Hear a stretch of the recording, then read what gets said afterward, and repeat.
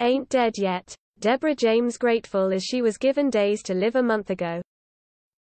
Dame Deborah James has revealed she was given just days to live a month ago.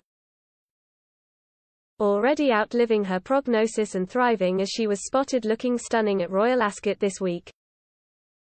Dame Deborah James has opened up on feeling grateful to still be alive after she was discharged from hospital a month ago and given days to live.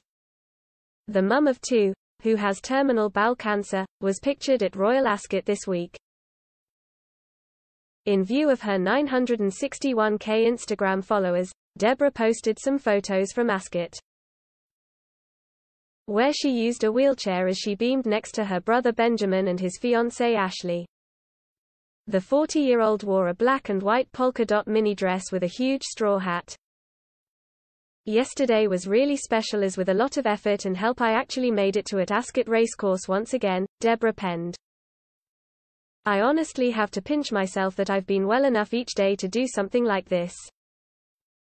Another favorite I'd had in mind and a fab milestone to say, ain't dead yet.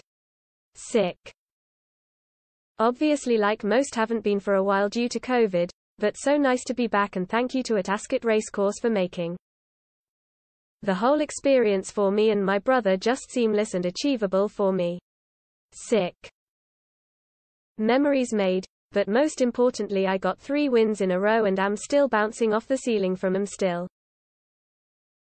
She continued, I find myself living in limbo land, not really knowing what the future holds and for how long. It's a very stressful uncertain place to be because when I was discharged from hospital over a month ago I was given days, maybe a week to live. Sick. And I felt like it. But as we all know life doesn't go according to plan, so I'm just grateful for whatever extra time. The powers that be have decided to grant me. Sick. So despite the unnerving tears, I look at the sunshine, smile, and think, wow, life is a funny thing isn't it? Better enjoy it. Deborah's many friends and followers sent their love and support to the star.